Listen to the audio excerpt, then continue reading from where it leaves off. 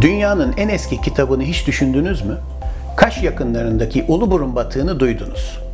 Bu batıkta elde edilen buluntular arasında dünyanın en eski kitabı da çıkarıldı. Geç Tunç Çağı 1400-1200 milattan önce. Yani günümüzden 3400 veya 3200 yıl öncesine ait.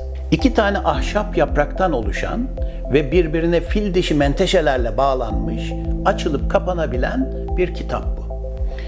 İki yüzüne hafif oyulmuş bal mumu dökülüyor. Bal mumunun üzerine yazıyorsunuz. İşiniz bittikten sonra kapatıp kolunuzun altına koyabiliyorsunuz.